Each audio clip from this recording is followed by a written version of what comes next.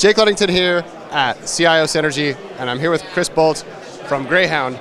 And you guys are actually doing some pretty innovative stuff from what I just heard on the stage. Can you tell me a little bit about that? Yeah, actually, we're in the middle of a five year transformation program, which uh, includes a big part of the IT uh, infrastructure and portfolio. And uh, we're into year two of that right now and that covers uh, the whole spectrum of IT, whether it be infrastructure, applications, uh, business capabilities, and also the whole organizational model.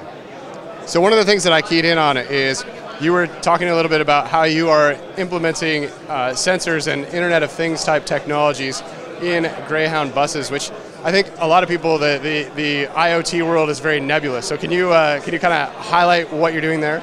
Yeah, exactly. Well, you know, the the whole evolution of the uh, the bus industry means that they're adding more technology. So as we get delivery of new buses, every bus comes loaded with more technology. It really started with engine technology, sensors in the engine for sense uh, for sensing uh, RPMs, uh, heat, uh, and, overall engine performance. But now we're getting other things that you, you start to see elsewhere in, in the uh, automobile industry, like adaptive cruise control which is very important for safety when you're doing long distance driving, and other sensors around brakes uh, and other peripherals around the bus.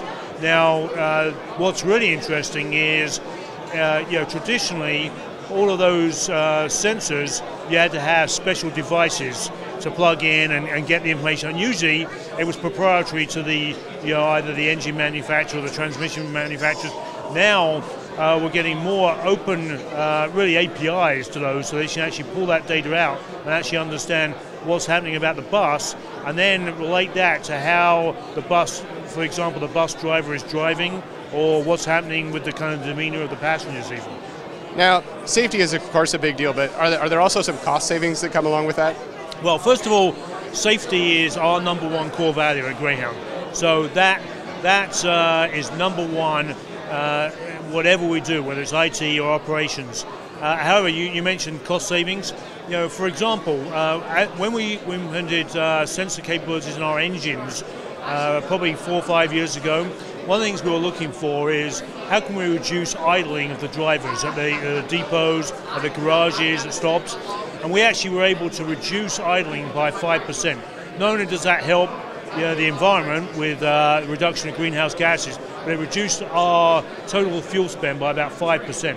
Very significant. Wow, that is, that is a big, yeah. big savings. So, if you had to pick one thing, what, what is the thing that gets you most excited to get out of bed and go to work in the morning? Uh, I think uh, for me, it's uh, some of the capabilities we're rolling out to our customers.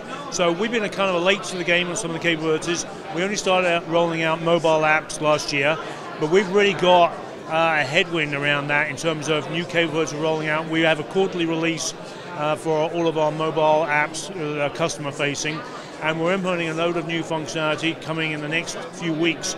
Uh, which will enable our customers to track the location of their buses real time and understand when, it, when they're going to arrive, when they're going to depart. Oh, that's very cool. Thanks, Chris. Thank you.